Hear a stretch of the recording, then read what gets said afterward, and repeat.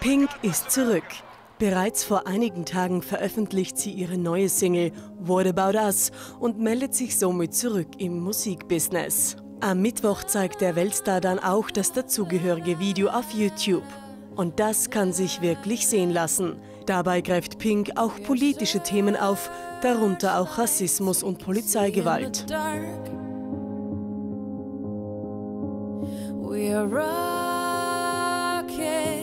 Pointed up at the stars. We are billions of beautiful hearts. And you sold us down the river too far. What about us?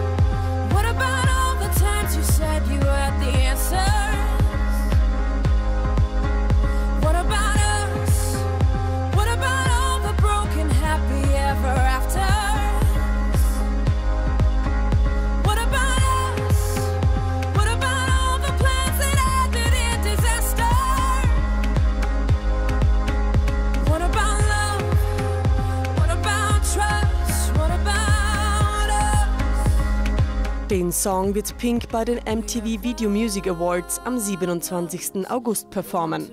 Dort gibt es für Pink noch einen weiteren Grund zu feiern. Wie bereits jetzt bekannt gegeben, erhält sie dort den Michael Jackson Video Vanguard Award. Diese Auszeichnung geht an erfolgreiche Musikvideos im Internet. Damit reiht sich das Popsternchen in die Liste von Künstlern wie den Rolling Stones, Britney Spears, Justin Timberlake und Beyoncé.